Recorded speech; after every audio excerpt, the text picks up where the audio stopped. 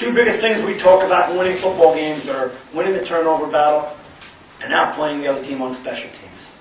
Clearly, today, the first one I talked about is the reason we're sitting here as not victorious.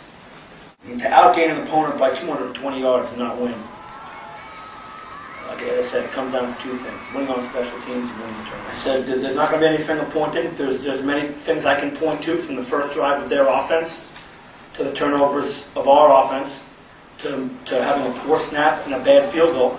And any three of those situations could have helped to win the football game. And we are a team, there's hundred of us together.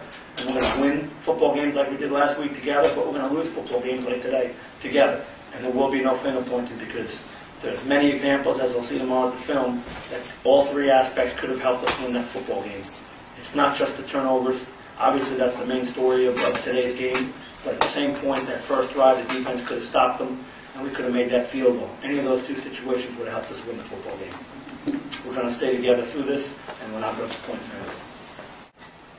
Certainly, I thought they were resilient. I do not think we played as physical, as hard as we're capable of on defense. Didn't tackle nearly as well as we did the last two weeks.